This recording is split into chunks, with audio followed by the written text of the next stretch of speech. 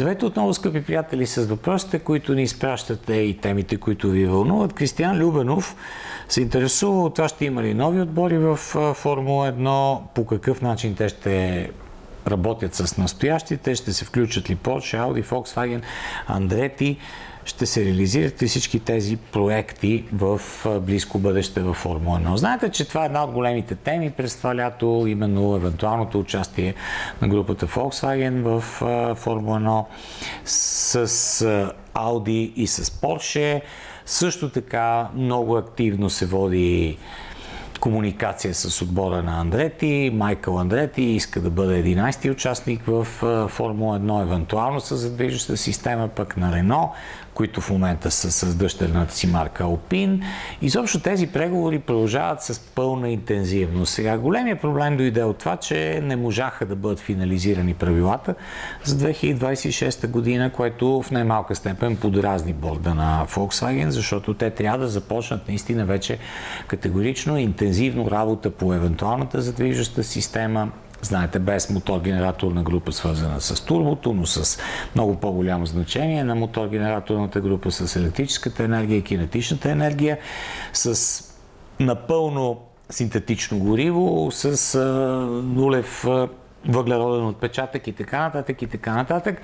Просто тези, тези решения се забавиха, но аз мисля, че просто е въпрос на време да видим окончателно участие на Volkswagen, на Porsche и на Audi в Формула 1. Що се отнася до участието на Андрети, там също има напредък, защото проблема възниква най-вече от това, че всеки нов отбор в Формула 1 трябва да даде 200 милиона долара, на останалите 10 участника по 20 милиона и да гарантира своя дългосрочен и сигурен ангажимент в Формула 1. Марио Андрети съвсем наскоро каза, хора, това е най- тежкия, най-обидния момент в цялата ми кариера. Ние сме достатъчно сериозна организация, искаме наистина да участваме в спорта, който най-много обичам и който е върха на автомобилния спорт и подобен тип рестрикции и нежелание да ни включите в кръга на европейските супер отбори е малко или повече дискриминационен, така че много, много дълга и тази тема, при положение, че все пак собствениците на спорта са американци,